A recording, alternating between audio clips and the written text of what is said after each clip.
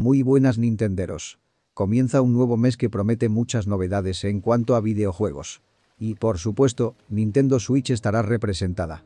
A lo largo del vídeo de hoy, hablaremos de la posibilidad de ver una de las franquicias más potentes de Capcom en Nintendo Switch uno de los insiders más reconocidos de la industria, que en el pasado ya ha logrado desvelar información verídica sobre diversos títulos de Capcom, como Resident Evil 8, asegura que la compañía japonesa está trabajando en un Monster Hunter desarrollado específicamente para Nintendo Switch.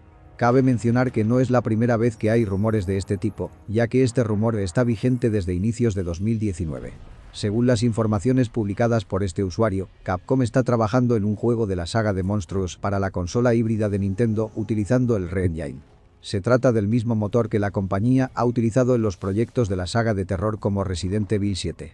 El juego usaría este motor, que lleva mucho tiempo adaptándose para Nintendo Switch, aunque hasta ahora Capcom no ha lanzado ningún título destacado para la consola.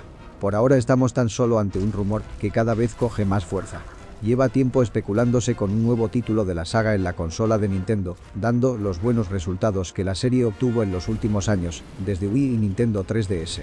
El último juego de la saga, sin embargo, se publicó en PC, Xbox One y PlayStation 4. Se trata de Monster Hunter World. Desde entonces se ha especulado tanto con una adaptación de Monster Hunter World para Switch como con un nuevo juego específico para la consola de Nintendo. Por ahora no ha habido ningún anuncio oficial, pero esta filtración sugiere que en pocas semanas podría haber algún tipo de presentación. Lo cierto es que en septiembre, si no hubiera la actual situación de pandemia, se habría celebrado con normalidad la Tokyo Game Show, el mayor evento nipón donde muchas compañías realizan grandes anuncios. Quizá la agenda prevista para presentar el proyecto, en caso de que sea real, estuviera condicionada por esas fechas en el calendario. Por lo que no queda otra que estar atentos para ver de qué se trata. En principio, este evento tendrá lugar del 23 al 27 de este mismo mes. ¿Creéis que se anunciará? ¿Os gustaría ver la llegada de Monster Hunter a Switch? ¿Creéis que con la adaptación de este motor podemos ver más juegos por parte de Capcom?